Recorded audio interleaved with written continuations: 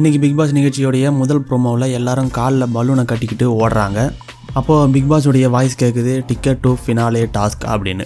அதோட இந்த வாரம் ஃபுல்லாக நிறைய டாஸ்க் இருக்குது அந்த எல்லா டாஸ்க்லேயும் யார் முதல் இடத்துல வராங்களோ அவங்களுக்கு டேரெக்டாக ஃபைனலுக்கு போகிறதுக்கு ஒரு டிக்கெட் கிடைக்கும் அப்படின்னு வாய்ஸ் கேட்குது அதுக்கப்புறம் சாண்டி பார்த்தீங்கன்னா அவன் கேம் ஆட ஆரம்பிச்சிட்டான். இனிமேல் பாருங்கள் வேறு மாதிரி இருக்கும் அப்படின்னு சொல்கிறாரு அதை கவினை பார்த்து சொல்லியிருப்பார் போல் தெரியுது. அடுத்து சேரன் வந்து அந்த டிக்கெட் எனக்கு வேணும் அப்படின்னு சிரிச்சுக்கிட்டே சொல்கிறாரு அதுக்கப்புறம் கவின் சாண்டி கிட்ட எண்பது நாள் எனக்கு புரியாதது இப்போ என்ன புதுசாக புரிஞ்சிட போகுது அப்படின்னு கேட்குறாரு அதுக்கப்புறம் சேரன் சாண்டி கிட்ட இதுக்கெல்லாம் நீ ஒன்றும் ஃபீல் பண்ணாத அப்படின்னு சொல்கிறாரு அதோட அந்த ப்ரோமோ முடியுது. கிட்டத்தட்ட ஃபைனல் நெருங்கிட்டதால் அவங்களோட ரிலேஷன்லாம் வந்து எல்லாருக்கும் அறிவுரை சொல்லிட்டு போயிருக்கிறதால எல்லாருமே மோதிக்க தான் பார்ப்பாங்க. அதனால் டாஸ்க்கெல்லாம் ரொம்பவே சுவாரஸ்யமாக இருக்கும் அப்படின்னு இந்த வாரம் எதிர்பார்க்கலாம். இதை பற்றின உங்களுடைய கருத்துக்களை நீங்கள் கமெண்ட்டில் சொல்லுங்கள் அதோட நம்ம சேனலை சப்ஸ்கிரைப் பண்ண மறக்காதீங்க.